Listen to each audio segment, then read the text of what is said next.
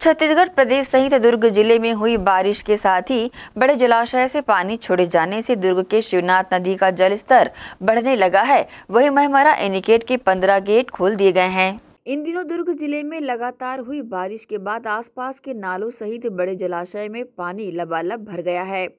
सभी तरह से बहकर आने वाले पानी के कारण दुर्ग के शिवनाथ नदी का जल स्तर भी अब बढ़ने लगा है। शिवनाथ नदी स्थित महमरा एनिकेट से वर्तमान में लगभग चार फीट ऊपर पानी बड़ी तेज़ी के साथ बह रहा है। बता दें कि मोगरा जलाशय का पानी छोड़ा गया है, जिसके चलते बड़ी तेज़ी से शिवनाथ नदी का जल स्तर बढ़ने लगा है। इसी के चलते शिवनाथ नदी उफान पर होने के कारण महमरा एनिकेट के कुल 30 गेट में से 15 गेट खोल दिए गए हैं। इस खुले गेट को देखने के लिए शहरवासी पर्यटकों की संख्या में पहुँच रहे हैं। ग्रेनेसियन न्यूज़ के लिए दुर्ग से नसीम फारूकी की रिपोर्ट।